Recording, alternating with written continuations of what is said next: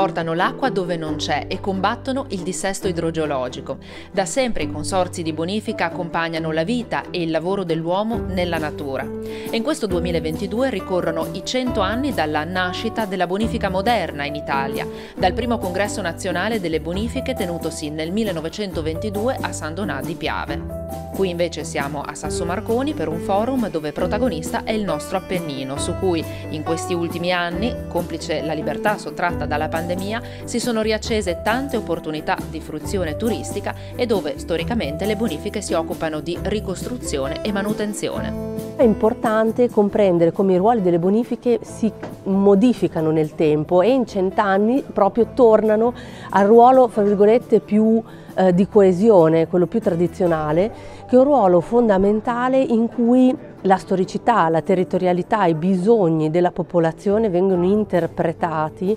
da questi consorzi che pochi conoscono perché oggi soprattutto se ne conosce poco, si pensa all'acqua, si pensa alle inondazioni, si pensa all'allontanamento, ma soprattutto qua in Appennino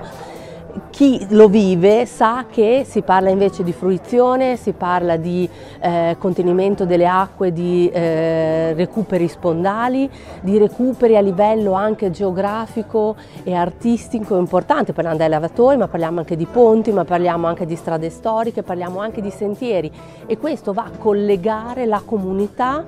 con la fruizione dell'ambiente. In un momento in cui si parla di economia circolare, ma anche di contatto con l'ecologia e con l'ambiente, credo che siamo perfettamente centrati in un ruolo fondamentale, che non è solo quello dell'acqua, che è il famoso oro blu, ma anche proprio della tutela dell'ambiente, quella che viene chiamata anche esternalità positivo, beneficio positivo. E le buone notizie ci sono per gli amanti del nostro Appennino. Cinque nuovi progetti di sentieristica per altrettanti itinerari trekking, finanziati dal GAL GAL Appennino Bolognese e affidati in esecuzione al Consorzio della Bonifica Renana. Attualmente sono in corso cinque interventi su altrettante eh, situazioni sentieristiche, eh, sicuramente quella più significativa riguarda l'anello eh, di 16 km che da Riola di Vergato raggiunge le grotte di Soprasasso, una meraviglia poco eh, conosciuta, ma ci sono interventi anche a Porretta Terme,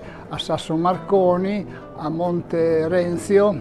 eh, e in altre realtà. Inoltre di recente eh, abbiamo presentato insieme un progetto che GAL finanzia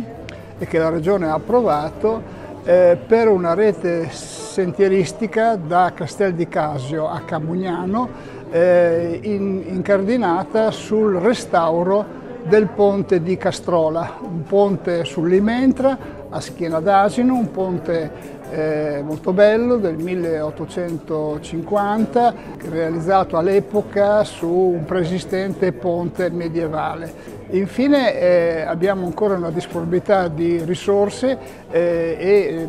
prossimi, nelle prossime settimane sentiremo dai comuni le richieste per realizzare ulteriori interventi di sentieristica.